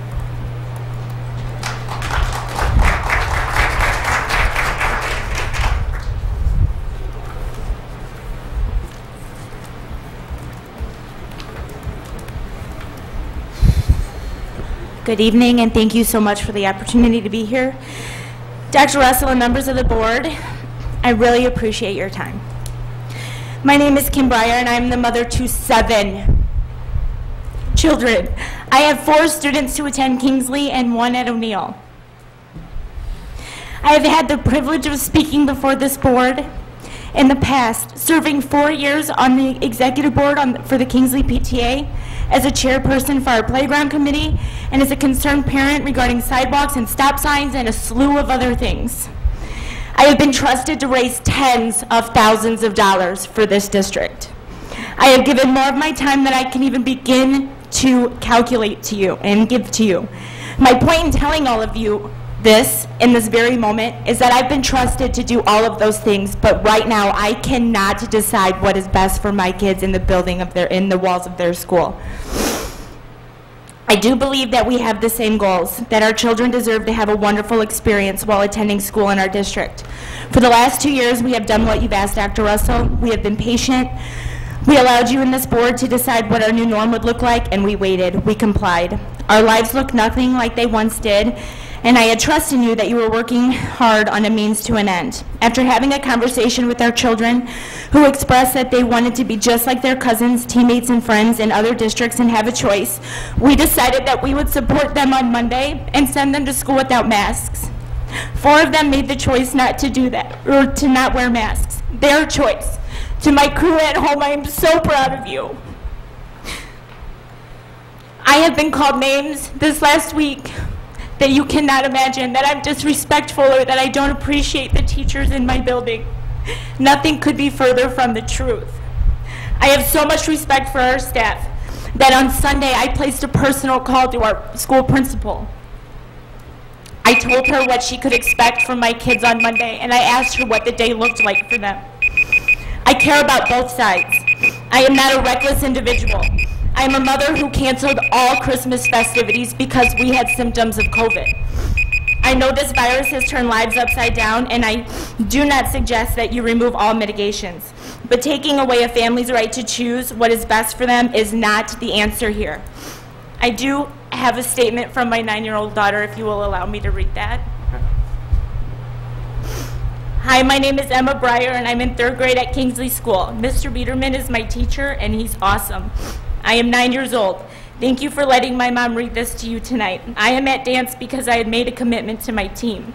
I wanted to tell you why I went to school without a mask this week.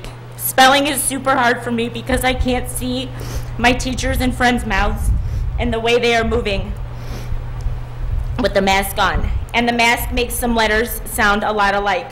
I would like to take my mask off if it meant that it would help me in school. I work really hard all the time, but it doesn't seem to make it any easier. This week I didn't wear a mask because I've been taught that if I see something that's wrong to say something. I was put in a different room than my friends and I didn't have anyone teaching me. I did work on my iPad and finished all of my homework early.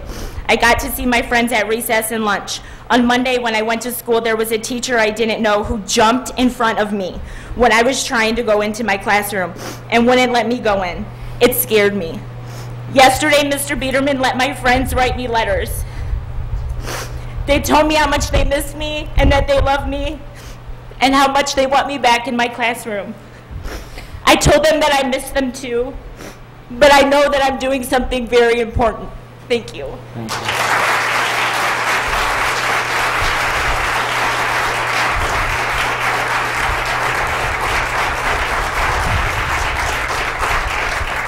Lindsay Garrity.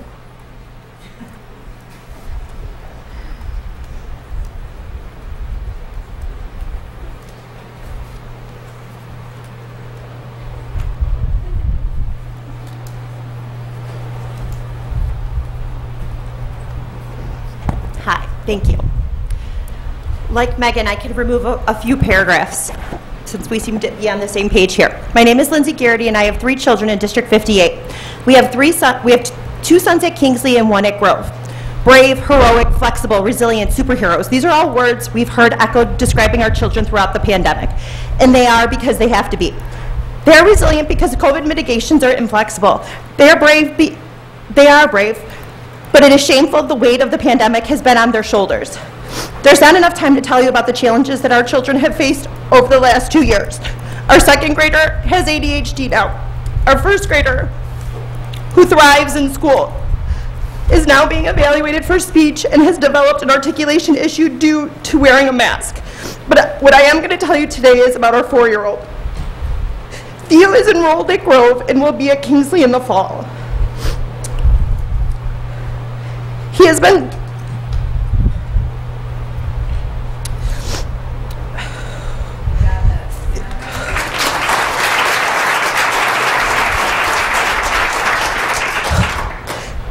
Theo is enrolled at Grove and he will be at Kingsley in the fall. After two surgeries as a baby, he started physical and speech therapy at six months old. He has been diagnosed with a severe verbal apraxia and he has a motor planning delay. We sought help early and often as suggested, and he has been in occupational, physical, speech, and developmental therapy. We wanted nothing more than for him to be accepted to Grove because we know that they, they were the most talented and gifted therapists and preschool teachers in our state. When he turned three in April of 2020, he began his journey remotely. We were flexible. We missed speech minutes and instruction because we were all in this together. We are no longer in the same boat when neighboring districts and schools within our own village are mask optional.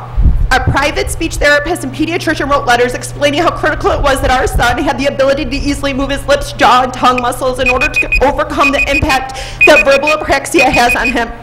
When Theo's mouth is covered with by a mask, he cannot effectively make speech sounds, period. But our medical exemption was denied by District 58. As our son makes the transition to kindergarten, we are told he may need classroom RTI support already.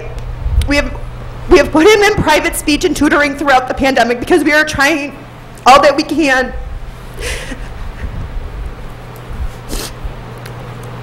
that will help him learn and grow despite his obstacles. While we are so proud of his accomplishments and constant positive attitude, I will never forgive myself for the progress he could have made over the last two years. I am in awe of our teachers, therapists, and aides. Their dedication and love is why our children love school so much. But forcing any child, let alone a child with special needs, to wear a mask is not only sinful, it is counterproductive to the hard work in the classroom and the efforts we're making outside of school. Many will argue, to my community, many will argue that masking is a small inconvenience. To some families, it is not. Some of our children have had to learn to read without seeing their teachers' faces or mouths. They have had to make friends without seeing their classmates' faces. And our son has had to learn to say his own name when he cannot use his mouth with a mask.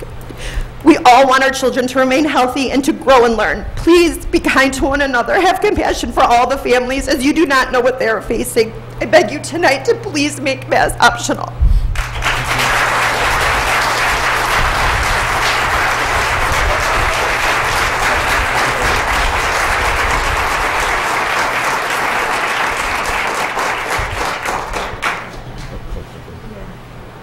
Matthew Culp.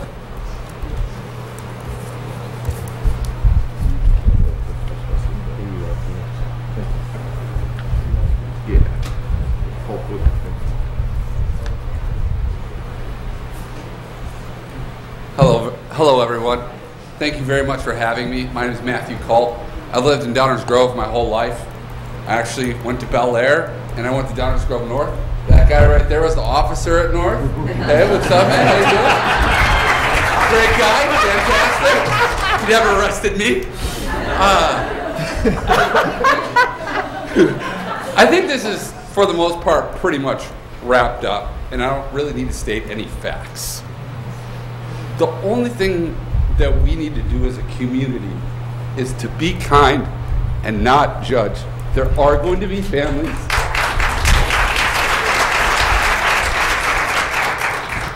There are going to be families that are going to have a hard time with this. I'm not going to have a hard time with it, but there are going to be other families that are going to have a hard time.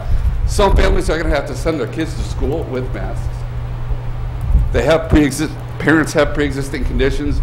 Elderly people might live at their house. Some might have diabetes. Some just might not be healthy people. So I think as a community, we need to come together, show each other respect, don't judge, be kind, and love one another as we go mask optional.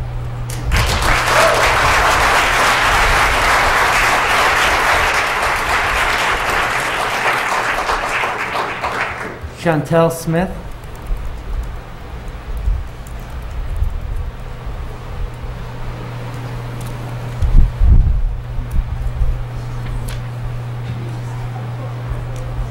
Hi. I'm a former District 58 family. I pulled my four children two years ago because I disagreed with the current mandates.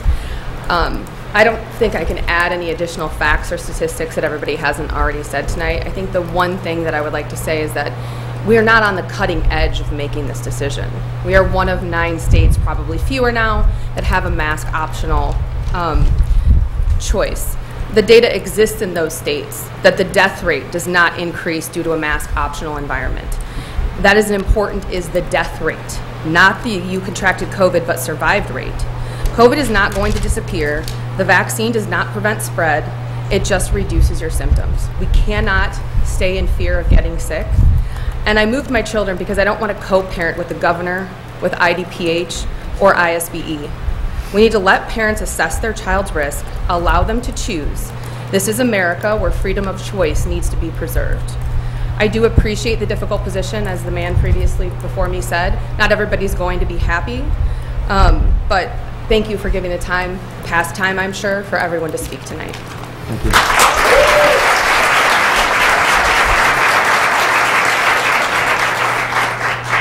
While we've reached our hour mark, I only have one card left, so uh, let's just continue going on. Barbara Allen.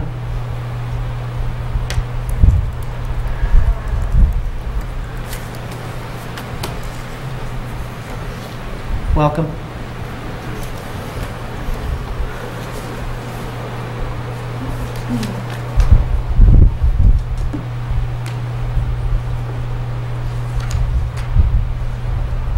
Hi, everyone. Can you hear me? Um, Thank you so much, Dr. Russell, for your leadership. Um, You've been wonderful um, throughout all of this, and we just so appreciate your leadership. Thank you for the board for being here and for listening to all of us tonight. Um, I am a mother of four children. I have one daughter currently at District 99, one who graduated from District 99 last year, and two children in District 58. When my seventh grader gets home from school and I ask her how her day was, her words are often overshadowed by mask policy and mask theater at school. There is constant lecturing and pestering from certain teachers about how to properly wear a mask. They have been measured at the lunch tables with a yardstick to make sure they are properly distanced. This is abhorrent. These teachers, I'm not speaking for all teachers, but those teachers are on a power trip. It's not okay. We all want to move past COVID, yet politics leads us to believe there is only one solution masks. Yet thousands of schools across the country have been open during the entire pandemic without masks and no corresponding rise in serious illness. Kids are getting sick from all kinds of viruses, all kinds of things other than COVID, despite wearing masks. Here are the facts, and these facts are available to each and every one of us. Over the course of the pandemic, 49,000 children have died of all, all causes. Only 331 of those were COVID related. Yet we have turned our children's lives upside down at school for what is essentially a non risk. Last year, fewer kids died of COVID 19 than of heart disease, cancers, tumors, suicide, homicide, and drownings. Are we inspecting at school what's in our children's lunches? Are we addressing the growing incidences of suicides during the pandemic? No, we are playing politics with our children's faces. It is a fact that masking children negatively impacts learning and their social and emotional well-being. Outside of school, we have maskless gatherings, concerts, restaurants, stadiums, and more. Yet in school, our children still have a cloth plastered over their beautiful faces. Where is the common sense in that? Yes, the Illinois Attorney General has appealed the recent ruling by Judge Raylene Grish- Grischow regarding our governor's COVID school mandates. However, Judge Grischow was quite clear in her ruling. These mandates are not legal. It is. Not uncoincidental that the government announced just yesterday that he will finally lift mandates in public spaces by the end of the month. COVID 19 has reached its endemic stage. Yes, it's more contagious, but importantly, it is less virulent. We are approaching our third year of living with COVID 19. We cannot remain at a heightened state of emergency. We have to move past mitigations. We need to stop using our children as pawns in pandemic politics. About 15 Board. seconds, okay? Please. Board, I implore you to please unmask our children now. Give parents the choice, give families the choice. End all mitigations and declare masks optional in District 58. Thank you. Thank you.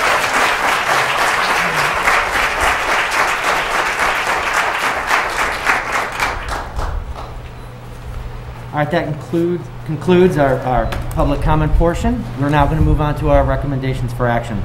We have one item on our docket tonight, that is the, the potential action to authorize the suspension of enforcement of certain COVID mitigation measures to the extent consistent with court rulings. Is there a motion to adopt the resolution authorizing a suspension of enforcement of certain COVID-19 mitigation measures to the extent consistent with court rulings and approving the superintendent's authority related to pandemic operations for the 2021-2022 school year? So moved. Second. All right, with that, I'll open it up for discussion. I I guess I'll, I'll go first. I'm gonna be Okay. really, really quick, um, and then I'll actively listen to my fellow board members. But um, I think the gentleman in the back said it uh, very nicely. Like, if not now, when is it going to be? And so, for me, we're never going. to Check, check, check. Are mics working? Check, check one. Ja- James, how are we doing? All right. No, I, I guess uh, uh, for me, we're never going to get an all clear sign. Um, we simply aren't. So, so now's the time to, to move forward. So that's all I have to say.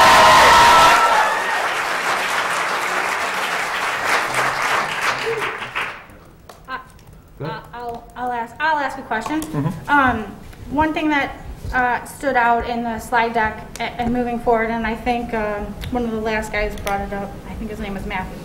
Um, there's gonna be a difference of opinion here, obviously. Um, but the seven of us, for the last two and a half, two and a half years, have put the kids first. And when we were met with adversity, when people thought the school should be closed, we didn't do that. So when all the so when all the talk um, in the last week or so, um, the things that have been said, and I want to just capitalize on something that you said, uh, Kevin, about our community. It's it's really disgusting what I see happening on both sides. Nobody is exempt from this because everyone is misbehaving. Everybody. But something that I, I have to say that two years ago when I sat here and when all of us sat here, we got emails saying that we were going to pay for a kid's funeral because we were keeping schools open when they thought it should be closed. And just recently, we got an email from somebody saying that they were sickened and disgusted by the administration and Board of Education, and they were disappointed to be part of the community in this school district because their children deserve so much better. All the children deserve better. And you and the school board should be ashamed of yourselves because we don't care about kids and what's best for them, that we're backed by money, politics, and power, and we only care about ourselves and our reputation. And I have to say that I can ta- I have pretty thick skin, but when it comes to comments like that, I really have a hard time understanding how Kevin gets out of bed every morning and goes to work with a smile on his face, and all the building principals that have to take it on the chin every single day, no matter what, from both sides of the coin. And what I want to know moving forward is how we can work with the kids and make this as seamless as possible if it were to be approved tonight and, and have everybody put your drama aside and your hyperbole and let's talk about how we can make everybody comfortable on both sides of the coin. So that, that's my question to you, Kevin, is to ask how we can help support kids if this were to be approved tonight to be comfortable and the things we have in place for the next couple days or moving forward, social, emotionally, and whether families choose to have a mask or not, how we're going to handle that.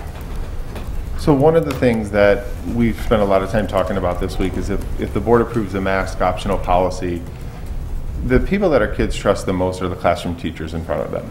And there's no one better to talk with our kids tomorrow than their classroom teachers and talk to them about a transition, um, what that would look like, how to respect everyone's choice, because we will have, if the board approves, several students who still choose to wear a mask. Um, speaking with districts that have gone mask optional already, um, you know, they're not reporting that, you know, the school is mask free. It, it looks very similar to what it does now. A lot of people, especially at the start, are still sending their children to mask or with masks, excuse me. So I think one of the first things that we've got to do is we've got to talk to our kids and make sure that kids aren't questioning one another about how come you don't have a mask or, or you know, why, why don't you have a mask? And making sure that everyone feels comfortable with, with everyone's choice. And again, what we'd like to do tomorrow is first and foremost meet with our principals first thing in the morning at 7 a.m.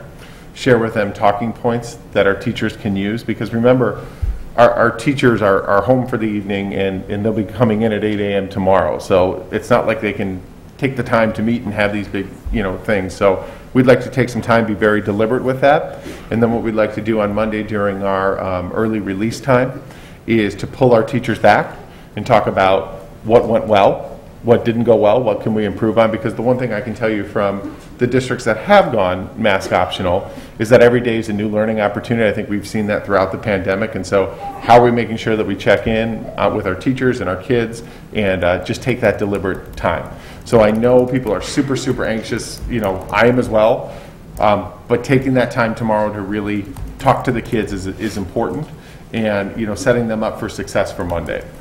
So on, on top of that, just because um, I used to work in radio and people would call in and say, "What's that that advertiser?" and I heard it like every hour, and I was like, "How could you not remember the phone number of that company that advertises every hour?"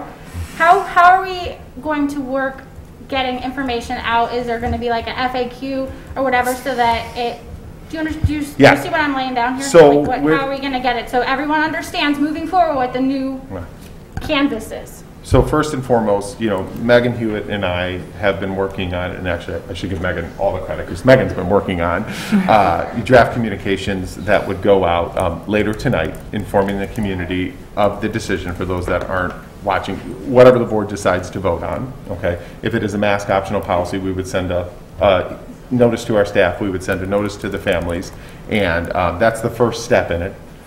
We have a return to learn plan on the website that would then have to be updated, uh, so people could go back and look, because Again, when you look at the guidance, go to the CDC page, what it talks about is layered mitigations. And so if you're taking a few away, you still keep some in. And, and quite honestly, um, with lunchroom tables, how everything is set up right now, classrooms, we're not going to be able to go back to all 13 schools and rearrange everything tomorrow. It's going to take some time to get back to, you know, what it looked like, step at a time, you know, and uh, so we do need some time to, to go back and, and speak with them. So again, that meeting on Monday with our staff after the first day, should the board approve, is really essential to, to take a look at that. But we will be continually, you know, updating our families and updating our information that we have on the website. Okay. Um, well, because if, we've already, it's still discussion, I, I would just say that in doing my research for tonight, uh, the seven-day rolling average in the two zip codes that our school district is in is at 5.35%. And the vaccination rate in DuPage County, uh, in our specific uh, zip codes, the two zip codes that are for District 58, fully vaccinated is 77% and 72%. So because of these things, um, and knowing that we're not an outlier anymore, that it's not like we're the first district to do something like this, other states have been doing it for a long time, I feel, I feel comfortable in this, and I really do appreciate all the time that your administration has taken to put this together, and I appreciated seeing that it doesn't take effect tomorrow, that you're suggesting for Monday, because by the time we all get out of here, it could be later and kids are going to bed, so there's no opportunity. So I appreciate the time and consideration for both staff and for families to kind of wrap their head around it and have the weekend also to discuss and decide as a family. So I I- appreciate that. And I appreciate that you mentioned staff, because one of the, the things that, you know, you hear on the media is that, um, you know, there, there's a angry teachers union over here, there's something like that. I want to assure the community, our teachers union, we've got a great working relationship. Our teachers union and, and our teachers in District 58, every experience I have had is, is is for the kids. I haven't had a negative interaction, I haven't been, you know, forced in anything. I, I represent the board and the children and our staff of the district, not one interest here or one interest there. They've been really great. Um, What they're asking for is information. What they're asking for is a little bit of time to make sure that we do this right. A- And, um, you know, but again, our teachers are representative of the community. And so there will be some, I'm sure, that are, that are eager to go mask optional, others that may be concerned, and, and we will continue to work through it with, with everyone. But um, I have not had um, negative push like you would see on the news or anything like that. So I, I did want to be clear, because I have gotten that question or, you know, accusation from, from certain individuals in the community, but that isn't the case. Thank you for clarifying. Thank you.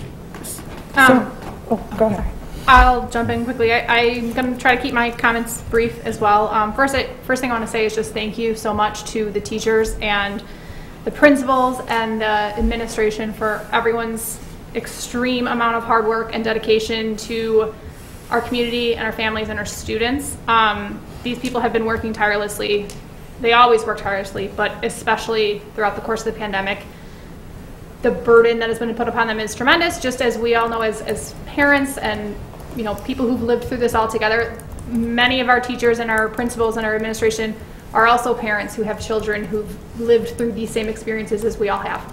And I'm very, very appreciative of, of everything they have done. Um, a couple concerns I have going forward. Um, one thing that, that does give me pause is that I don't, I'm hesitant in terms of the flip-flopping back and forth, where we might make a decision tonight to say we're gonna go mask optional beginning on Monday, and next Thursday, the ruling could be overturned, and then we have to go back to full masking. Um, I'm concerned about that aspect of it. Um, that inconsistency and the flip-flopping back and forth, I think, is, is a concern for the students and the staff and everybody involved. Um, I also, as so many people have mentioned, am very frustrated with our state leadership um, and our health departments and kind of their lack of clear direction throughout this entire pandemic. As someone, someone mentioned that um, we as a board have been made to make decisions that we really have no expertise in making, and that's very frustrating and challenging as a board member to try to make a decision for 5,000 students when I don't necessarily feel like I have the knowledge necessary to make that decision. So we look to our experts. And we look to our health department, we look to the CDC, we look to the IDPH, we look to the DuPage County Health Department for guidance. And it is frustrating when that guidance is maybe not as clear as we would like it to be. But that's kind of always been our course as a board, I feel like, since the beginning of the pandemic, is we're not doctors, we're not epidemiologists, we're not infectious disease specialists.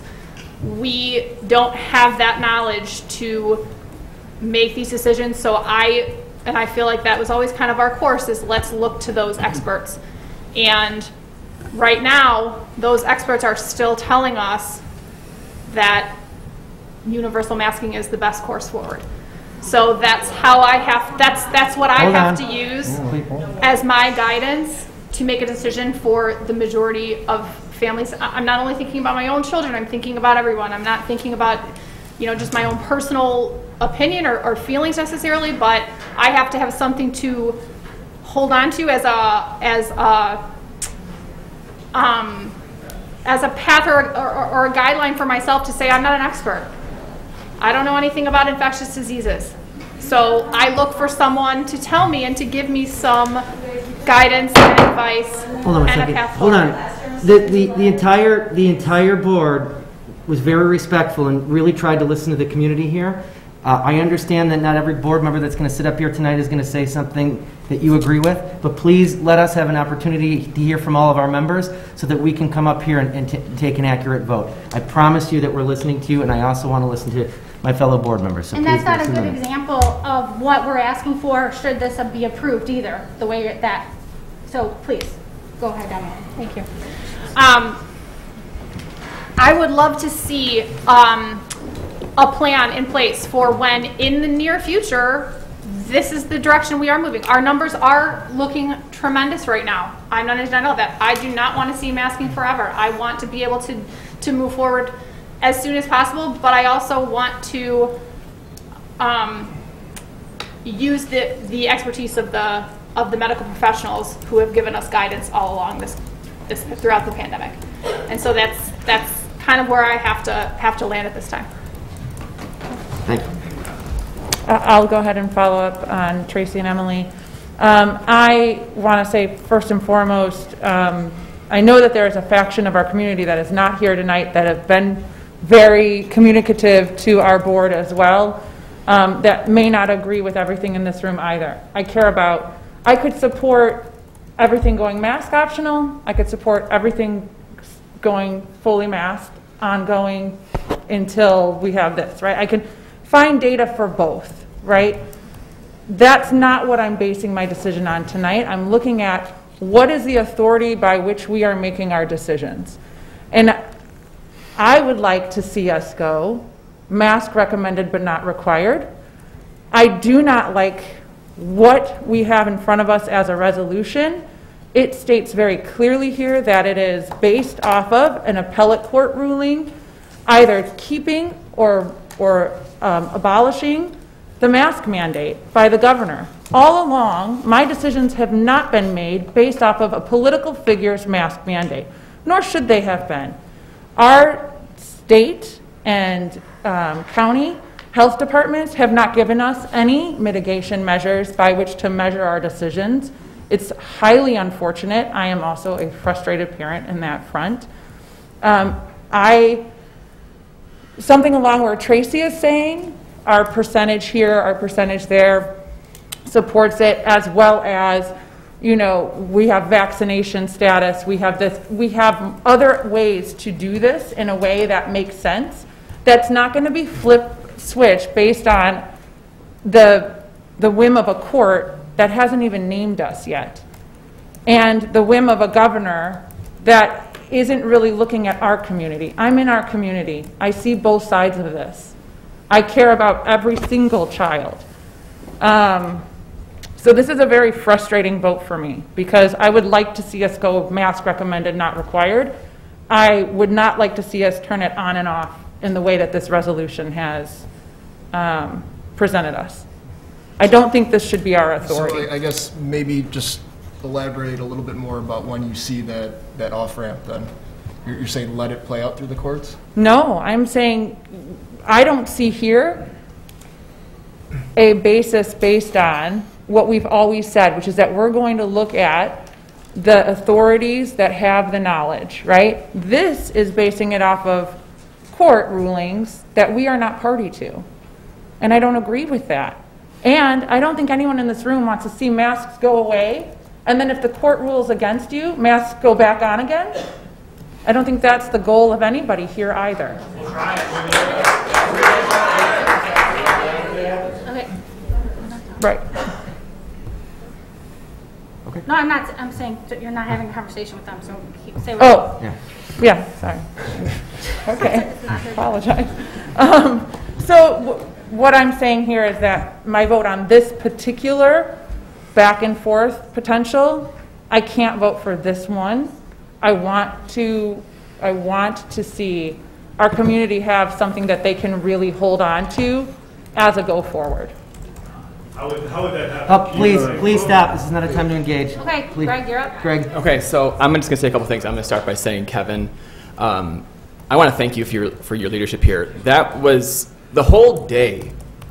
I was had a pit in my stomach about this meeting because I, I, I saw the level of vitriol in in, in uh, the Facebook posts and and the emails that we were getting um, since Friday night, and um, that was I could never have imagined that this conversation, this, this discourse would have been so healthy and so respectful. And I, I thank everyone here for that. And, and Kevin, I want to say that's, your leadership is a big part of that. And it, it's, it's the way you communicate, and it's the way that you, um, you interact with families and talk to people and you listen and, and you explain everything very clearly. And, and um, that, you know, people, as, people, my friends, they, they send me these, these YouTube videos as a joke. Like, look at this dysfunctional board here, good luck, you know, that kind of thing. And, and we don't have that here in 58.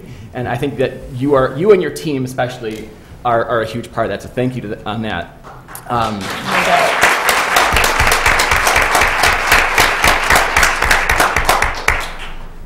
I'm gonna keep my, my, my comments uh, short. Um, like everyone else in this room, nothing I'm going to say is going to, I don't think it's going to change anybody's minds. Um, I, I, just like everybody else, I've, I've looked at the data, I've weighed the risks, um, I've, I've um, studied the, the efficacy or lack thereof of, of certain mitigations, and, and, I, and, I, and, I underst- and I've tried to understand the impact that they're going to have on kids in our community. Um, when we were having this co- uh, similar conversation in, in uh, July, August of 2020, um, I was uh, very strongly in, in support of keeping our schools open uh, because I was worried about the impact on kids. Um, I think the impacts are different um, when we're having this conversation, but um, they're, they're still worth you know, echoing some of the comments from people in the room about um, that's really hard for a kid to be in a school with um, with an English learner or somebody who has a speech delay or any kind of learning disability to be able to learn in that environment. I think it's it's it's it's hard on some on a lot of the times on kids who are the most vulnerable. Um, I think it's hard for kids to hear their teachers sometimes. I mean, when I, when I went for parent-teacher conferences, or I'm sorry, open house in, what was that, September, all the fans are going, I could, you know, I, I don't have the greatest hearing, but I could barely hear what the teacher was saying. And I think there's, there's something to be said about the nonverbal feedback we give each other and how kids need to be seeing that, and that's, that's lost a lot of time when you can't see the, the face behind the mask. Um, I, the one thing that um, I am just as happy about in this recommendation that I think has, has been more onerous than, than the masking is the, the, the um, ex- exclusion of children from school. And, uh, uh, you know, I'll speak for my, uh, a family member who, of mine who uh, got COVID. She was, too, she was too old, she and her brother were too old to be, too young to be vaccinated. Uh, she was sick for a day, she was excluded for 10 days from school, and her brother's exclusion, he was home the whole time and he was able to, uh, he was not able to return until he had a 10 days tacked on at the end of her um, exclusion period. So um, that to me, when we were talking about getting kids in school, and this is the best place for them to be, this is where they need to learn and grow and be with kids and be with teachers who love them and support them. Um, I, can't, the, the, the, the idea of, of keeping to, uh, continuing to keep healthy kids at home um, has, is, um, not something that sits well with me, and that's, that's a celebration for me in this resolution. Um, and then the other thing that just has, has been said, we are not in uncharted territory. We are behind the times in terms of comparing ourselves to other districts in, in, in other states and other countries. Um, this is we are not this is not a, a laboratory experiment. We have um, we have models in other areas in our, in our country and our world where this is working. And I, um, I, I, don't, I don't have I don't share the I don't I, I don't have the reservations that this is this is going to be an unwise move for us. Thank you, Greg. Uh, for me, this is this is a, a great opportunity to kind of talk because um, I, I've had to write a lot of emails lately, and when and when I write them, often if you get an email back from me, it's it's me representing seven people, and so it, it usually it's usually a broad conversation, making sure I'm representing us as an organization. So to kind of talk a little bit about my philosophy throughout this entire thing is my goal has really been to make sure that kids are in school and that we get things as close to normal as possible.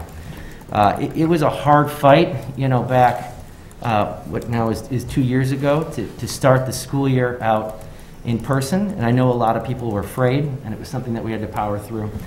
Um, it was hard to get people to start, uh, you know, to get, get around the idea of having snacks in school and having lunch in school again and, and adding things like recess back and gym class. I mean, every single one of those I know was, was scary and hard for people, but every time we did that and we walked through the fire, we came out the other side, and I think our kids benefited from that. We've been talking for a long time about what can an exit ramp look like, and, and I think we as a district, people ask us that question, we don't know because it's because we've been bound by so many things. And I was writing a lot of emails over the weekend asking for patience, and a lot of people I think were aggravated by that. And the reason why was is I had no idea what the health department was going to tell us. The idea that if we talked to the health department and, they, and we said we were considering this, and they said, well, then anytime you get a COVID case, we're going to shut down a whole class or a whole building, that becomes really punitive to what we're doing. And I was really nervous that um, a step in the right direction may take us a couple of steps back. So we needed those days to really work through that.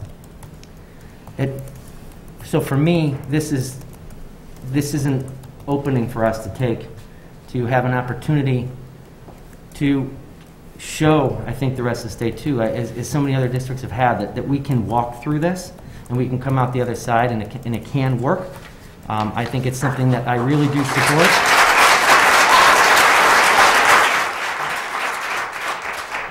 I, I am nervous about that this could toggle back and forth, but, and, and I, I, that's the part I don't like, but I don't think we can be afraid of that and, and, you know, do that. So, if this should pass here today, I think that, I, I think we have to be ready that that may happen. This is the state of Illinois, and uh, I, I'm not kidding myself on, on it. And so I think as things transition and as we do everything, we just need to continue to be respectful. There was a gentleman earlier today that said there are going to be families and stuff that um, may have legitimate health reasons or just may still be afraid. And uh, Brian, you talked about your daughter, and I know that you felt she felt othered the other day, and we want to make sure that as this transitions the other way, that we're not othering anybody else. This is really, really important. We've talked about social emotional health. We've talked about this, and part of this is going to have to come through kindness. I support this. I, I look forward.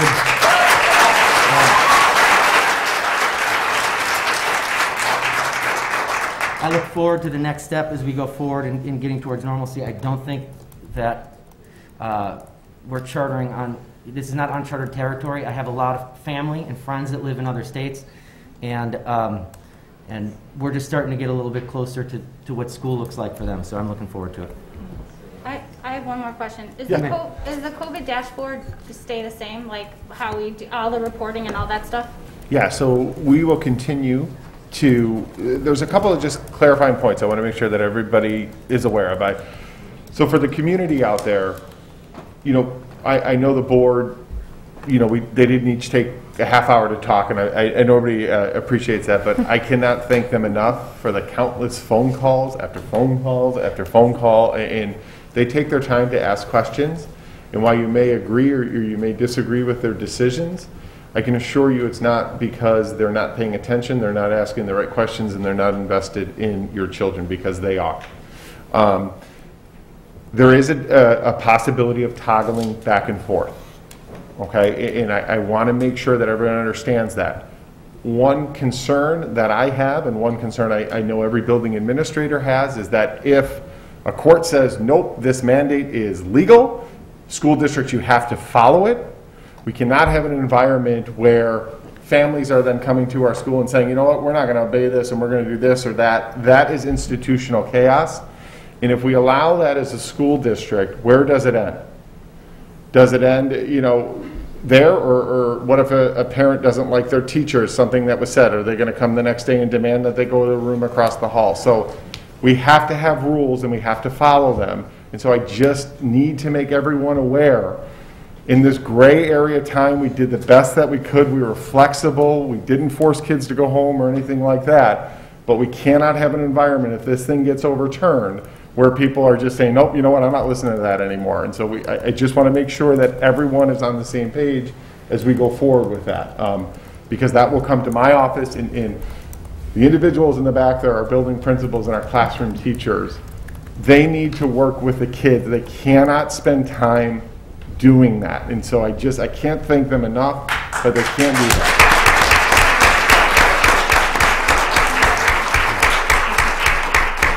So I'm famous for taking 10 minutes to actually answer the question that was asked. So Tracy, the COVID dashboard.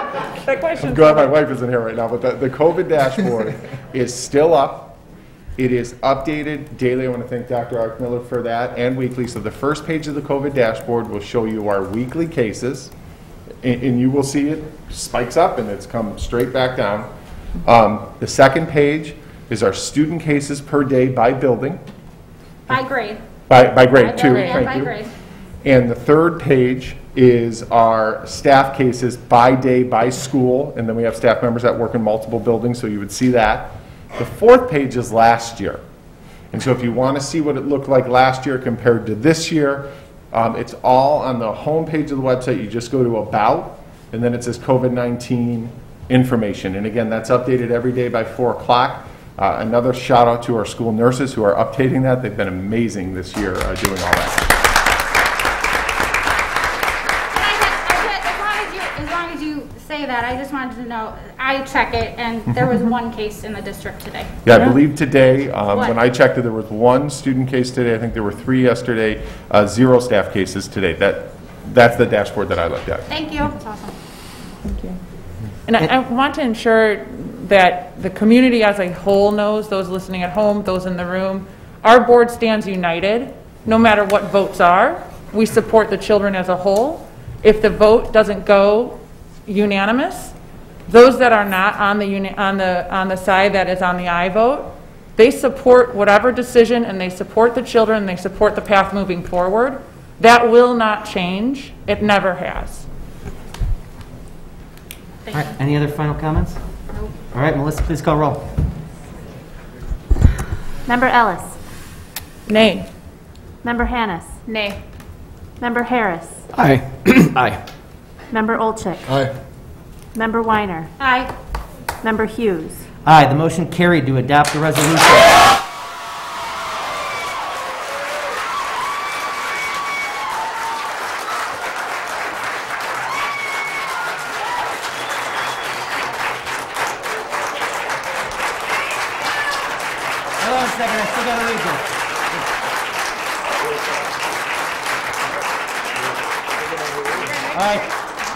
Carried to adopt the resolution authorizing the suspension of enforcement of certain COVID-19 mitigation measures to the extent consistent with court rulings and approving the superintendent's authority related to pandemic operations for the 2021-2022 school year. A Couple of announcements. We do have a regular board meeting on Monday, February 14th at 7 PM. uh, with a opportunity, uh, what we call a community conversation, or we previously called it uh, coffee with the board. That'll be at 7:30 a.m. before the 7 p.m. 6:30. I'm sorry, 6:30 6:30 p.m. 7 p.m. meeting. And it'll be right here at Village Hall. Uh, All right. Is there a motion to adjourn? I move to adjourn. Second. All right, Mel- Melissa, please call roll. Member Harris. Aye. Member Olchek. Aye. You're welcome. Member Weiner. Aye. Member Ellis. Aye. Member Hannis. Aye. Member Hughes. Aye. The motion carried. The meeting is adjourned now at 6:59 p.m.